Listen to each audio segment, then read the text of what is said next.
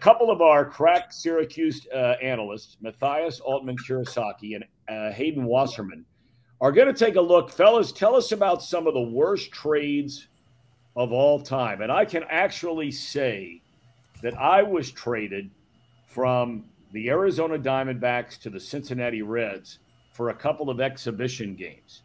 And I think the Diamondbacks made out on that deal, and the Reds got the short end of the stick.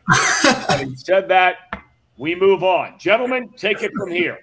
So today we have four trades for you. Um, most of them are old. One of them is newer. The first one is the infamous Nolan Ryan trade. Uh, this is going to be a little bit upsetting for Mathias, who's a big Mets fan, but he traded Nolan Ryan to the Angels um, on December 10th, 1971 for Jim Fregosi.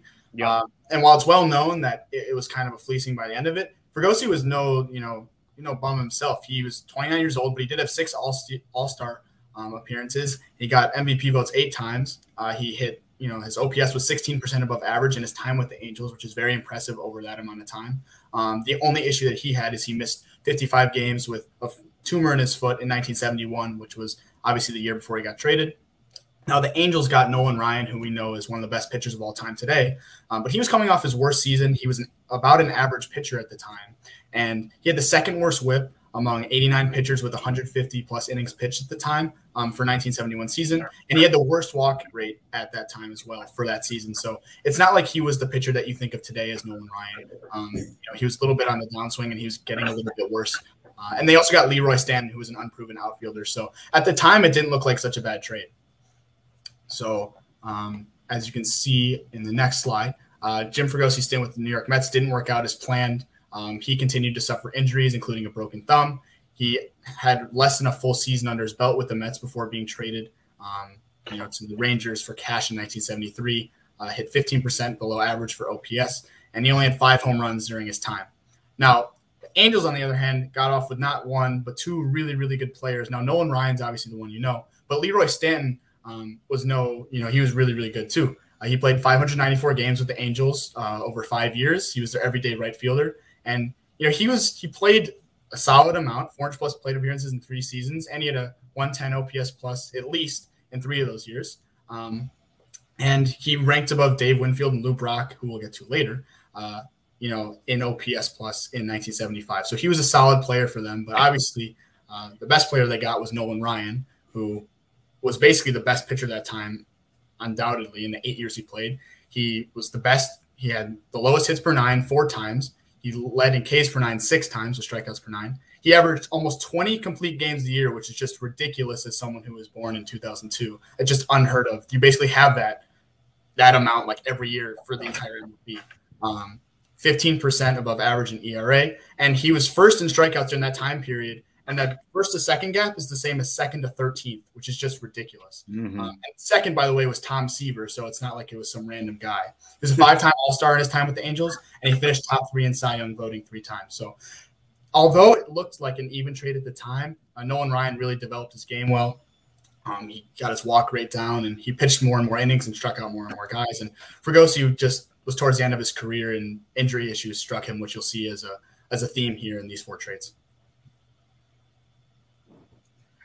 So our next trade was a trade between two uh, pretty intense division rivals, to say the mm-hmm. least, the mm-hmm. Cubs and the Cardinals.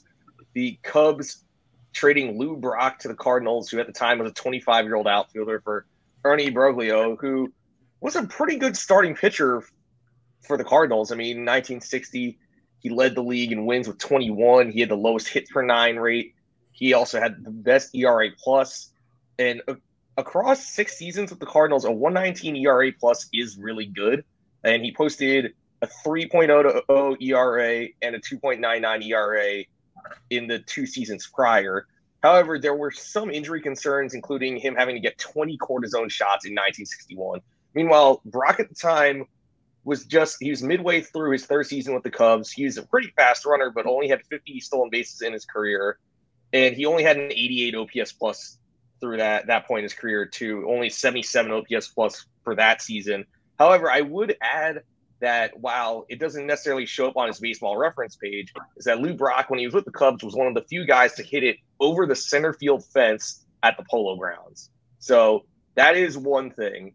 So at the time, I mean, the Cubs are getting a star pitcher. The Cards are getting an unproven outfielder. So really, at, at the time, it's understandable why they did this.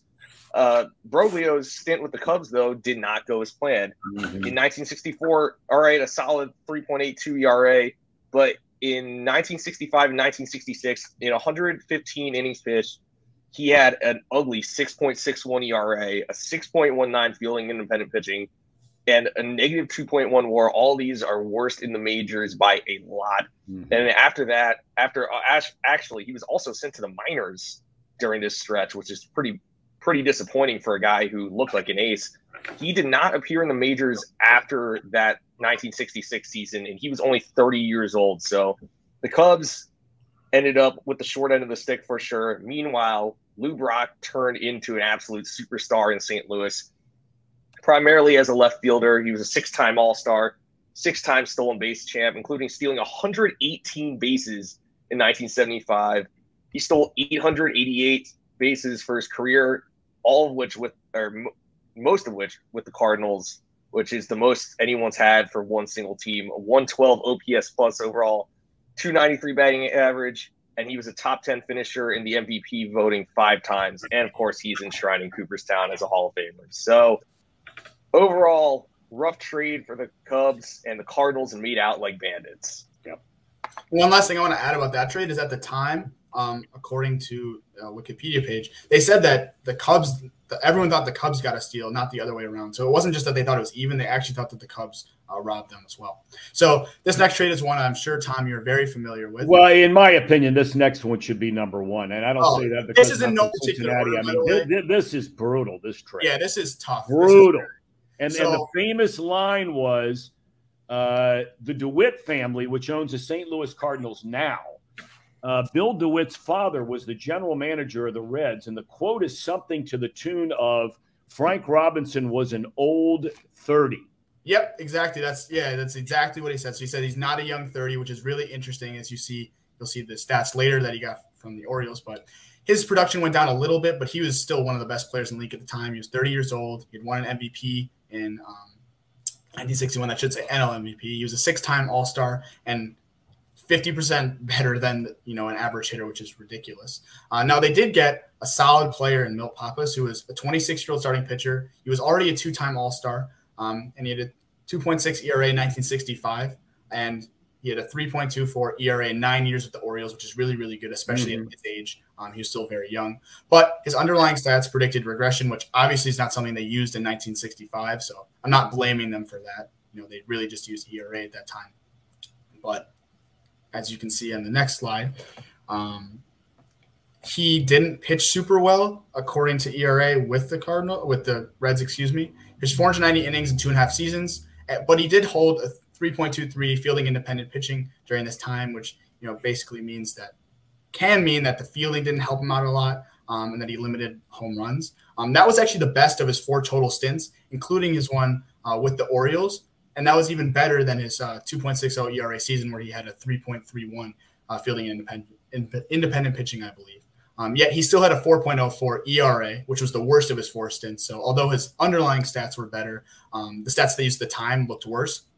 So they gave him away for almost nothing. But the underlying stats proved to be a you know they determined how he pitched in the future as he had a 3.36 ERA after his departure from the Reds for the rest of his career, which is really really good um, but he did not work out for the Reds. Meanwhile, Frank Robinson played six seasons in Baltimore. He won the AL MVP in 1966, uh, World Series MVP, and the Triple Crown, which was the season directly after they traded him. So um, immediately it just looked like a terrible trade. He was a six time All Star after age 30, which is nuts. And he hit 300, had 179 home runs, and a 169 OPS plus, which was 19 percent or 19 better uh, than he actually had on the Reds, where he was still a fantastic player. He finished top three in AL MVP voting uh, three times. So the Orioles really made out like bandits here, and you uh, think you know, the Reds GM didn't look so good on that comment? No, no.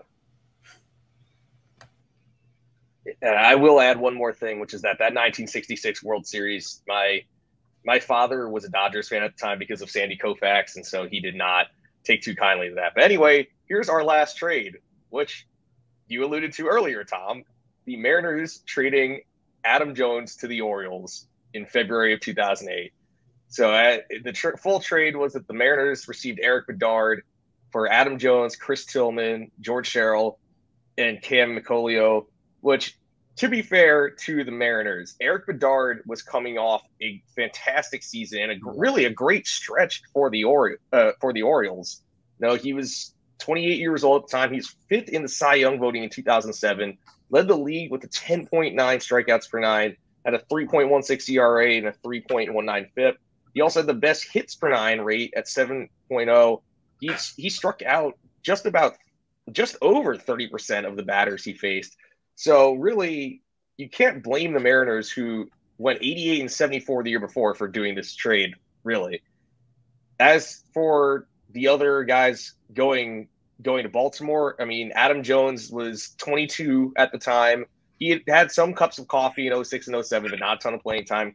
Chris Tillman was a top 100 prospect. He was only 19 years old at the time, starting pitcher and George Sherrill, who was a stalwart in the Seattle bullpen. So mm. th- those were the pieces going to Baltimore, along with Mickolio, who's a minor league reliever. Anyways, Bedard wasn't bad necessarily in Seattle. He started 46 games between 2008 and 2011, 255 in the third innings pitched with a 3.31 ERA. But he also did not pitch at all in 2020 because of shoulder injuries, and his 2008 and 2009 seasons were both shortened by injuries the injuries, he suffered a torn labrum and he uh, had to undergo shoulder surgery. And then in the summer of 2011, the Mariners traded him to the Red Sox at the trade deadline. So that was an unceremonious end to Bedard's career with Seattle, which really looked promising and just got derailed by injuries. Moving right along to how the Baltimore side played out, George Sherrill was an all star 2008, albeit with a 4.73 ERA, but still he had 31 saves and remained as the closer in 2009. Had a 2.40 ERA and then was traded to the Dodgers since the Orioles were out of the race. So he finished that year with a 1.70 ERA in total. Then moving moving on to Chris Tillman, he was actually a stalwart for the Orioles in their rotation. He threw just over 1,100 innings. He played in 10 seasons for Baltimore. He was an all star in 2013 and really led those successful Orioles pitching staffs to a few playoff appearances. He won at least 11 games four years in a row, three seasons with at least 30 starts and 110 ERA plus. While his career ERA is only 4.57, that's partially inflated by the last couple years where he struggled. But overall, Chris Tillman was one of the better pitchers for some pretty good Baltimore teams. He even started the wild card game in 2016. And of course, the last piece of this trade, Adam Jones, who played 10 seasons primarily as the center fielder for the Orioles. Was a five-time All-Star, a four-time Gold Glover. Was uh, won a Silver Slugger in 2013. Career uh, overall hit 279, 319, 459 with a 109 OPS plus and two, 263 homers. So he was far beyond what was initially envisioned. I would say he he basically was the face of the Orioles for a bit, and yeah, that that's how it all played out.